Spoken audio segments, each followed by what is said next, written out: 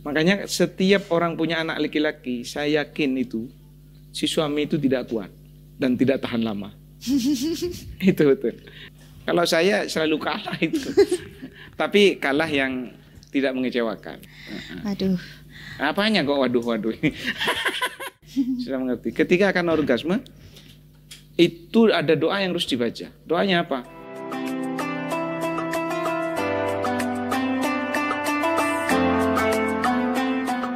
Assalamualaikum warahmatullahi wabarakatuh Hai teman-teman Alhamdulillah kita dapat bertemu kembali pada program mengaji kitab Tentunya bersama Kiai Imam Sutaji selaku Ketua Lembaga Dakwah PCNU Sumenap dan tentunya masih dengan sumber yang sama yakni Kitab Quratul Uyun.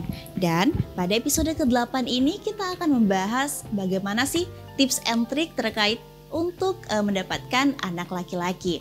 Biasanya untuk di episode sebelumnya nih teman-teman kalau kalian sudah menonton video ini kalian akan mengetahui bahwasanya Pak Kiai menyampaikan banyak sekali orang-orang yang masih bergantung pada medis. Tentunya bisa kita mulai saja ya. Assalamualaikum Pak Kiai. Waalaikumsalam warahmatullahi wabarakatuh. Bagaimana Pak Kiai kabar hari ini? Saya rasa biasa-biasa aja dan masih tetap sehat walafiat. Alhamdulillah. Sebenarnya menanyakan kabar ini merupakan hal yang sepele, namun kadang ya, orang-orang ini betul, selalu betul. lupa ya Kiai. Ya? Selalu lupa, selalu lupa bahwa uh, apa yang dikatakan itu perlu dipertanggungjawabkan. Iya, benar sekali. Artinya begini loh, Mbak. orang ditanya, "Gimana kabarnya?"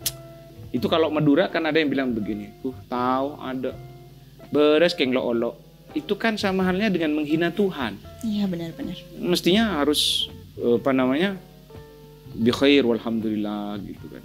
Padahal dia sendiri sehat, masih bilangnya sehat lo olo itu seperti apa sehat lo olo itu? Itu kan menghina pemberian iya, Tuhan. Iya benar-benar. Ya lanjut. Kurang bersyukur lah istilahnya. Ya kira-kira begitu. Iya Kiai. Dan di episode ke-8 ini Kiai kita uh -uh. akan membahas nih bagaimana sih Kok senyum-senyum ini maksudnya. Mungkin kan ini merupakan uh, sesuatu yang menarik sebenarnya Kiai uh, iya, karena iya. kan tidak lagi bergantung pada medis yang yeah. saat ini mungkin banyak sekali nih teman-teman harus makan apa, harus melakukan uh, mungkin olahraga-olahraga yang seperti apa atau mungkin di syariat ataupun di kitab Quratul ini memang ada adab-adabnya Kiai. Ada. Ada, ada. Jadi nanti saya langsung uh, saya jelaskan dari awal linci. Terus bagaimana prosesnya gitu. Tapi ini gimana ya Mbak Sherly? E, harus kita sepakati ada beberapa istilah yang memang tidak terlalu boleh divulgarkan ya. Iya. Oke. Karena itu nanti e, saya harus menjelaskan hubungan yang sangat intim bahkan privasi sekali. Tapi ini pentingnya menjelaskan bahwa kalau ilmu pengetahuan Bagaimana kita kalau ingin punya anak laki-laki, punya anak perempuan, itu bukan tidak jelek sebenarnya. Punya keinginan seperti itu tidak jelek. Bukan berarti memerintah Tuhan, tidak. Namanya juga kita memohon, anda masalah. Iya, meminta eh, kepada Cuma bahwa kita berdoa, ya Allah berikanlah kami anak yang terbaik menurut Engkau ya Allah. Itu memang iya. Tapi apa salahnya kita minta mobil kepada Allah di bukan beli mobil kan tidak masalah sebenarnya. Iya, iya. Apalagi hanya minta anak laki-laki. Nah, kadang ada aja justru orang ingin anak perempuan. Iya benar. Tapi justru diberi laki-laki oleh Allah. Itu sebenarnya ada triknya gitu. Ada trik-trik. Ada trik-triknya. Bagaimana nih Kia ini? Wah, Mbak Sherly ini. ini ini sepertinya yang ngebet ini adalah presenternya ini oh, ingin belum, tahu. Belum, kayaknya. Oh iya, enggak maksudnya ingin tahu aja, penasaran iya. gitu kan ya. Iya. Uh, Karena kan selama ini kebanyakan teman-teman uh, kita masih bergantung pada medis, Kiai. Iya. Dan itu sangat menyengsarakan, apalagi iya. harus jadi macan. Laki-laki harus macan makan apa? Makan daging. Nah, iya kalau laki-lakinya suka makan daging tak kuntul mudul makan daging. Yang ditakutkan karena takutnya ya, vegetarian ya. Iya vegetarian. Ya. Kalau Mbak Seli sendiri vegetarian atau? Alhamdulillah omnivora memakan segalanya. omnivora ya. Iya. oh bukan karnivora. Omnivora. iya. oh iya alhamdulillah. Omnivora itu kan eh, di atasnya macan itu memang. Waduh. iya karena juga memakan sayuran. Iya kan, iya iya iya iya iya ini dimakan nanti kalau. Nah, cepat cepat. Baik, jadi begini Mbak Sherly, saya jelaskan aja ya. Iya, Kiai. Ini harus dimulai dari uh, pertama uh, apa namanya maturan olo nate edunga itu Mbak Sherly. Ini penting. Posisi tidur ya. Posisi ya? tidur itu harus kepala di sebelah barat, Memba- Membarat dan mentimur gitu maksudnya. Membarat dan mentimur. Iya, itu bahasa saya. Yang penting dimengerti aja. Iya, iya, alhamdulillah. Olo bara, olo, olo bara gitu ya. Iya. Dan pertama, ya tentunya adab ini dipakai ya. Tadi sudah saya jelaskan itu harus dipakai. Jadi pertama, olona kotu olo bara. Harus posisi kepala itu di arah barat. Dan posisi istri itu harus harus ada di sebelah kiri.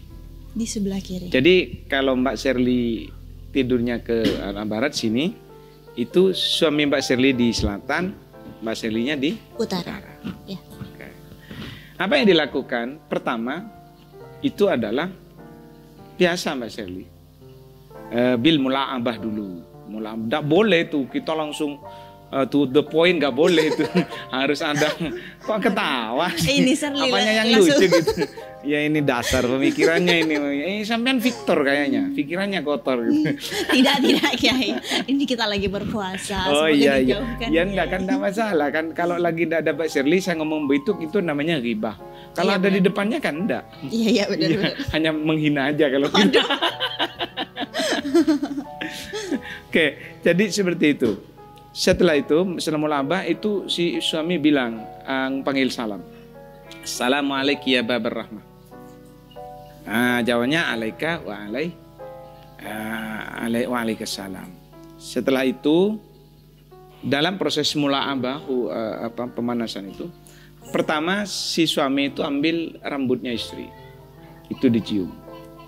Rambutnya dicium uh, ujung rambutnya dicium membaca subhanallah walhamdulillah wala ilaha illallah allahu akbar. Paham Mbak? Paham, paham. setelah itu dia si suami itu mencium keningnya istri. Kemudian membaca apa? Juga sama subhanallah walhamdulillah wala ilaha illallah wallahu Allahu Akbar. Setelah itu Mbak Shirley eh, baca lagi nih. Ketika mencium keningnya dan mengecup kening istri itu bilang apa membaca kul huwallahu ahad.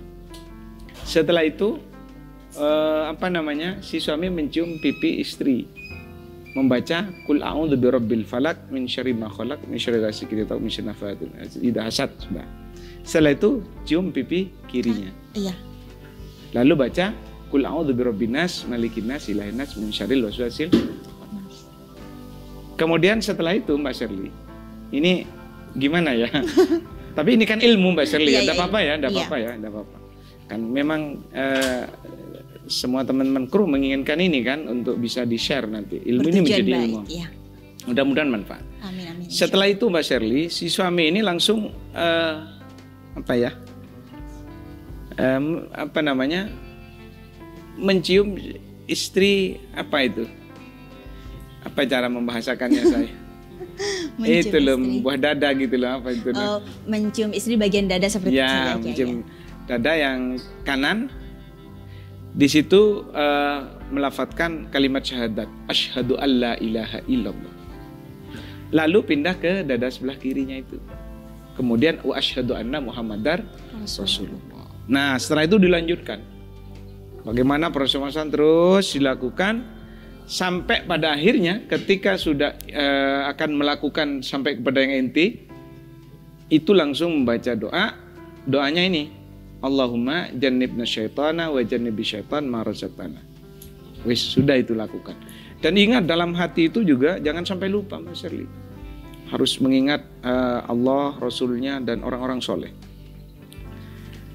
Yang te- setelah itu Mbak Shirley, ketika akan mencapai orgasme, ngerti kan Mbak Shirley kan paham. sudah saya rasa sudah balik ini, sudah mengerti. Ketika akan orgasme, itu ada doa yang harus dibaca. Doanya apa? Seraya mengingat Allah, kemudian ingat para soleh. Ketika sudah orgasme itu, itu harus membaca doa Allahumma ja'al nutfatana dzurriyyatan thayyibah. Allahumma ja'al nutfatana dzurriyyatan thayyibah.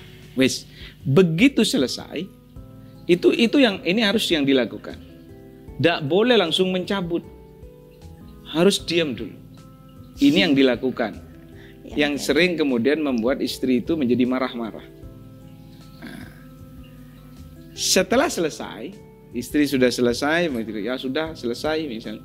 Nah, itu apa namanya turunnya jangan ke kanan lagi harus turun ke apa jangan ke ke kiri tapi tetap ke ke, ke kanan istri itu kan naiknya dari sebelah kanan Mbak. Iya, itu turunnya tetap ke kanan kanan tetap. nah tapi yang terpenting ini Mbak Shirley proses terjadinya anak laki-laki itu adalah harus memang si suami ini harus lebih apa lebih dahulu keluar Lebih ini dahulu. persoalannya Iya. yang ngerti nggak Mbak Shirley? Iya, iya, paham, Ya kok pura-pura kok sok ngerti padahal katanya belum. Iya, iya, paham. Apa sok ngerti Iya, atau nanti gimana? semoga ngerti Ya, ya. iya, iya. Jadi itu yang harus keluar dulu. Makanya ketika sudah keluar itu tidak boleh langsung dicabut menunggu istri. Makanya setiap orang punya anak laki-laki, saya yakin itu si suami itu tidak kuat dan tidak tahan lama. itu betul. Kalau ada orang punya anak perempuan, itu si suaminya itu gentle. Mbak Shirley bisa langsung nyangka saya, Pak Kiai punya anak tiga laki-laki semua, berarti Pak Kiai nggak kuat ya? Iya, memang betul. Berarti sebaliknya Kiai ya. Kalau Hmm. misalnya pasangan suami istri itu memiliki eh, banyak anak perempuan, berarti ini Jangan suaminya itu terlalu kuat. Waduh terlalu kuat. Ya kuat itu suami. Nah ini boleh ini ini lagi ini kan ini ini kan ini kan ini ini yang ah, jangan lupa. Jadi selesai itu berhubungan ini ada doa lagi kan tadi ketika orgasme membaca Allah macam nutfatan dzurriatan thayyibah. Nah ini ketika sudah selesai terkapar dan tidak berdaya gitu loh Iya. maksudnya. Nah itu langsung ini memang pembahasan memang agak-agak agak tabu gitu. Jadi itu langsung doanya begini. Alhamdulillahilladzi khalaqa minal ma'i basyaran faja'alahu nasaban wa sihran wa kana rabbuka qadira. Itu doanya yang dibaca. Dan setelah selesai si istri itu nanti tidurnya tidur miring kanan terus. Posisi memeluk suami suami. gitu. Insya Allah kalau itu nanti ditakdirkan jadi anak, itu insya Allah anaknya laki-laki. Dengan catatan itu dari awal adabnya diikuti dan yang paling penting harus lebih orgasme dulu si laki-laki. Si laki-laki. Ah, nah kalau misalnya untuk yang perempuan Kiai, Maksudnya untuk eh, misalnya menginginkan anak perempuan nih, kalau untuk yang anak perempuan ya si si si laki-laki harus kuat. hmm, hanya perbedaannya di situ ya Kiai. Iya. ya? Selain dari tata krama yang disampaikan itu. Berarti untuk tata kerama dan adab-adabnya itu sama Kiai ya. Iya. Hanya mungkin nanti eh, persoalan di istilahnya mana yang lebih kuat ya Kiai. Yang ya? lebih kuat? Ya. Jadi saya bilang ke teman-teman saya ada yang menginginkan anak laki-laki. Tapi anaknya selalu perempuan. Saya bilang, kamunya aja yang terlalu sombong. Waduh. Jangan terlalu sombong. Sekali-sekali mengalah lah gitu. maksudnya. Kalau saya selalu kalah itu. Tapi kalah yang tidak mengecewakan. Iya benar-benar. Gitu loh maksudnya. Aduh, Apanya kok waduh-waduh. pembahasan yang terlalu seperti ini. Eh, iya iya kayak siapa suruh minta tema ini gitu ya.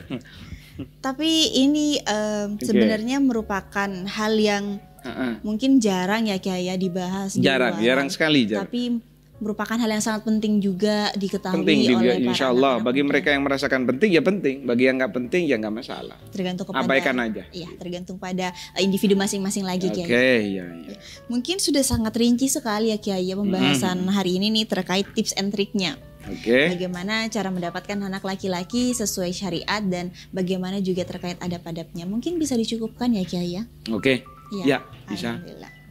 Nah, dan teman-teman buat kalian yang masih bingung eh, gimana sih maksudnya kayak gitu, kalian bisa sampaikan ya di kolom komentar di bawah ini. Tapi kalian juga jangan lupa untuk like, komen, subscribe, dan share video ini. Semoga video ini bermanfaat. Terima kasih, marhaban ya Ramadan. Wallahul aqwamit thoriq. Wassalamualaikum warahmatullahi wabarakatuh.